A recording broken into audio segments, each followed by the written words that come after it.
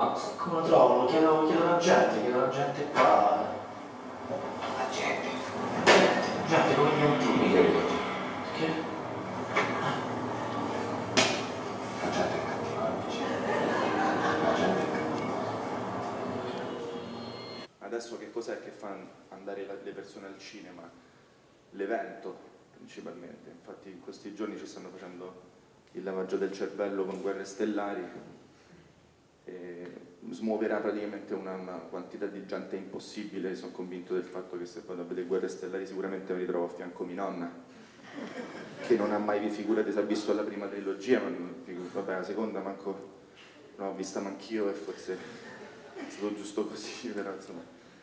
Ehm, E, chi meglio degli americani riesce a fare una cosa del genere? Cioè, mh, è anche una questione di estetica, è ovvio che se vado a vedere una cosa su uno schermo molto grande, se devo muovere il culo da casa, lo faccio sicuramente per una questione di, cioè voglio che mi si rincoglionisca gli effetti speciali, cioè ormai la, la concezione è quella, no? e forse in Italia siamo rimasti un po' indietro da quel punto di vista, cioè, a- adesso il Dolby Surround ti stupra, cioè, il Dolby Surround, cioè, il suono ti arriva da sotto, sotto al culo, dietro ti arriva, eh, esci fuori, insomma, poi andare al consultorio, un salto al consultorio dallo psicolo- dallo psicologo. E, e noi siamo rimasti un po' indietro, cioè è ovvio che se io devo andare al cinema e devo vedere la, la- la situazione tipo il dramma domestico, due camere e cucina, me lo vedo su torrent, oddio non dovevo dire torrent, vero? Adesso arriva la SWAT che sfonda.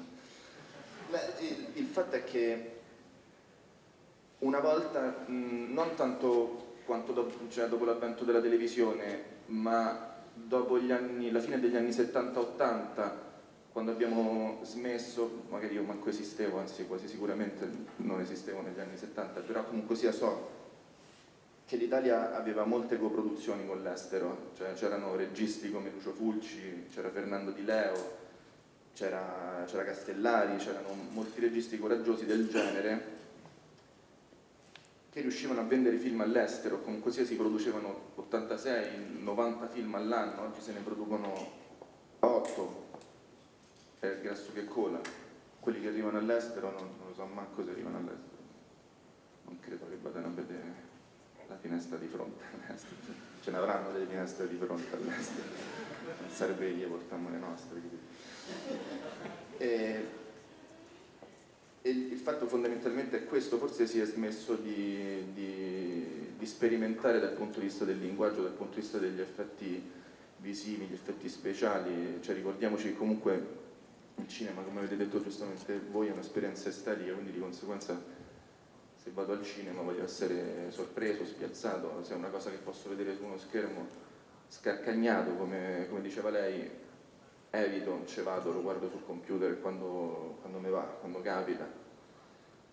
Dov'è il cinema adesso? È, è vero, il cinema è in televisione in America, paradossalmente, questo perché? Perché ci sono state tutte le diatribe con Brian Hills of America, gli sceneggiatori hanno scioperato, perché? Perché i soldi oggi circolano su, sulla televisione. È ovvio che lo sceneggiatore quando firma tipo per HBO una stagione lunga, 12 episodi, viene pagato un pacco di soldi e lui dice ah, adesso faccio ballare la scimmia, signori.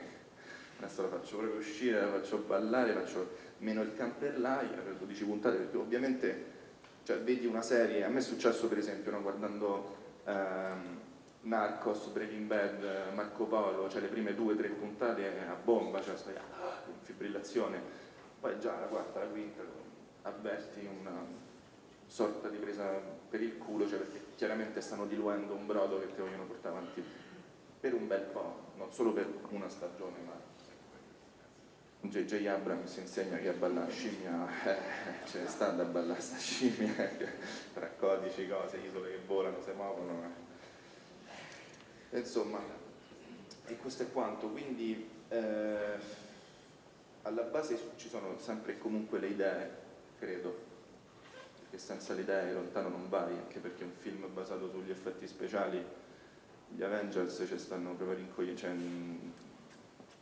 adesso hanno creato queste te- telenovelas con con i supereroi, che tu dici, oh guarda Thor si è messo, si è messo con vedova nera. non mi frega con chi esce Thor la sera, cioè mi interessa Thor che spacca il culo a. E quello deve essere, poi preferibilmente dovrebbe morire perché il cammino dell'eroe si ferma lì, poi è lui che torna a casa tipo diventa alcolizzato. Sì, gli antieroi ce ne abbiamo avuti abbastanza dagli anni 80 in poi.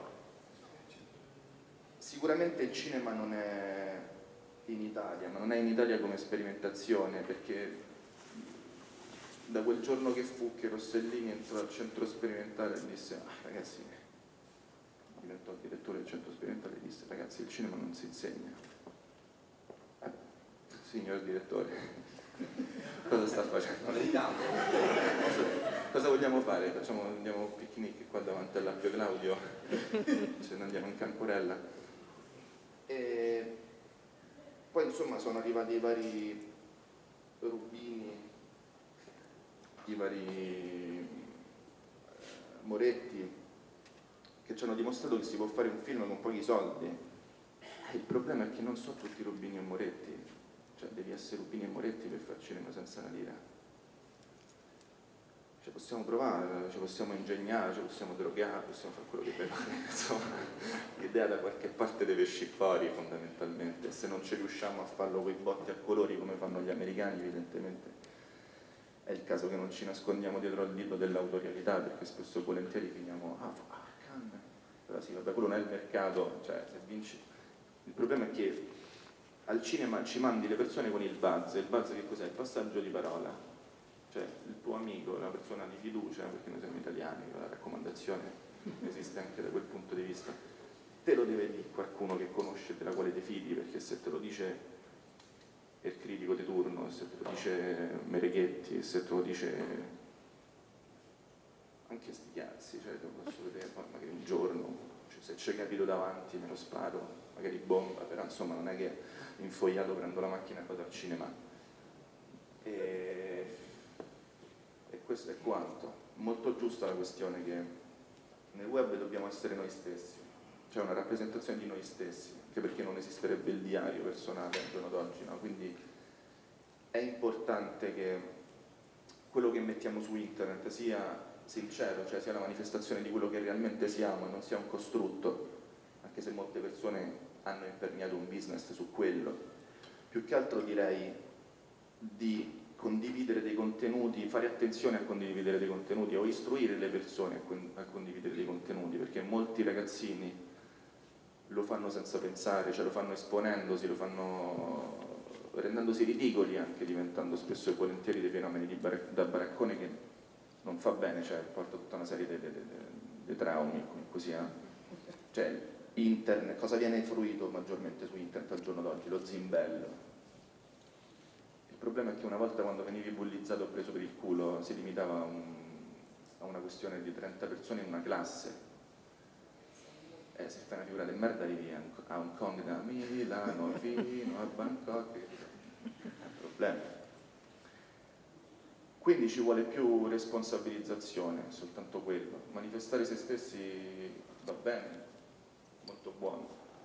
Non è cinema, perché giustamente il cinema c'è bisogno tutta una serie di canoni. E questo è quanto.